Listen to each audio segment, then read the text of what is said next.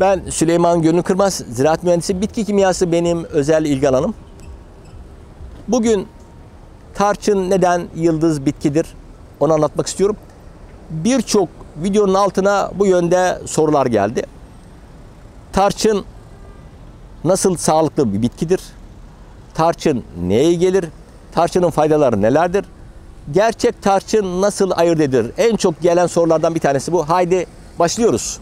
Şimdi bu dış ortamda çektik ama ben bunu ayrıca tarçının hangi tarçın iyi, hangi tarçın riskli bunu çekip bu videonun içine parça olarak koymak istiyorum.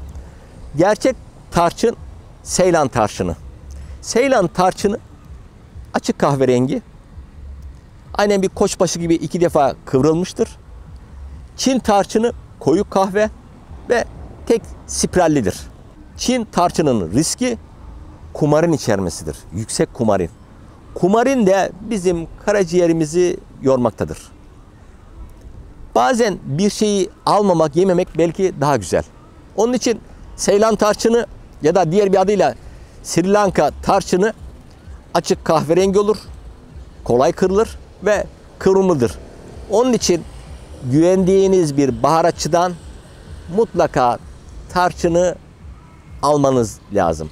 Tarçının yapısında 417 tane biyoaktif madde vardır. Yani egolden linalola kadar. Ve yıldız kimyasallar içerir. Kalsiyum, manezyum, potasyum, demir, A, C, E, K vitaminleri içerir. Ve antioksidanları dünyada yüksek 7 bitkiden bir tanesidir. Enfeksiyonları blok eder. Kardiyovasküler rahatsızlıklara da son derece iyi gelir. Anne sütünü de tarçın artırır. Özellikle annelerin bu tarçını almalarını ben öneriyorum. Tarçının en çok tartışılan özelliklerinden bir tanesi de diyabette yıldız bir baharat olması. Bir litre suya bir tatlı kaşığı tarçın koyuyoruz. 2 dakika kaynatıyoruz. Daha sonra söndürüyoruz.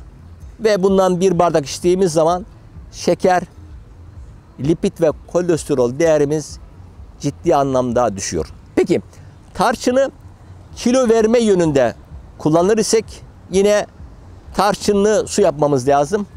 İkinci seçenek tarçınlı yoğurt ya da toz tarçını direkt yumurta, peynir, yediğimiz yemek ve pilavların üzerine de koyabiliriz. Ama kilo vermede bir ölçü vardır. Bir litre suya bir tatlı kaşığı toz tarçın koyuyoruz ya da bir litre suya üç tane üç çubuk tarçın koyuyoruz. Bir ay kullanıyoruz. Bir hafta mola veriyoruz. Bunun şekli de sabah aç karnına bir fincan, akşam aç karnına bir fincan. Ne yapıyoruz? Bir ay kullanıyoruz. Bir hafta mola veriyoruz. Günlük toz tarçın kullanımı yarım çay kaşığı. Yarım çay kaşığı.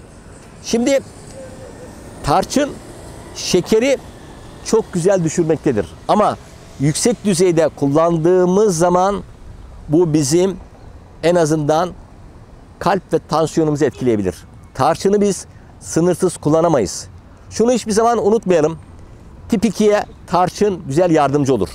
Tip 1'e de yardımcı olur ama insülin kullanan biri tarçın insülin kullanımının yerine geçmez.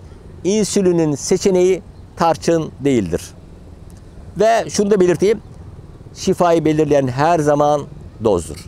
Peki toz olarak değil çubuk olarak kullanmak istersek günlük bir çubuk tarçın kullanımı bizim için uygun dozdur.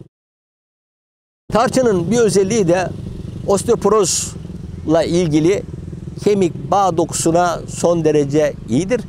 Hafızayı da son derece güçlendirir. Daha önceden de dediğim gibi antioksidan değeri en yüksek 7 bitkiden bir tanesidir ki bu antioksidan değerini ölçümleyen aynen bizim kondisyon gibi orak diye dünyada bir değer vardır. Peki tarçın neden yıldız bir bitkidir? Bütün bu anlatılımdaki kimyalarla ilgili mutlaka tarçın yaşamınızda bir şekilde olsun derim. Hipokrat nedir bilir misiniz? Hipokrat der ki yedikleriniz ilacınız, ilacınız da yedikleriniz olsun der. Ot Adamı kanalını lütfen likelayın. Likeladığın zaman bu kanallar daha farklı kişilere hızlıca ulaşmaktadır. Çünkü Ot Adam'ın kanalı bilimsel verilerle hazırlanmaktadır. Bildirim ve zilinizi açın. Size gelen her yeni bildirim ve zil sesi sizi hastalık alanından sağlık alanına taşıyacaktır. Bazen izlediğiniz bir doğru video bütün sağlığınızı değiştirir. Sağlıcakla kalın, hoşça kalın.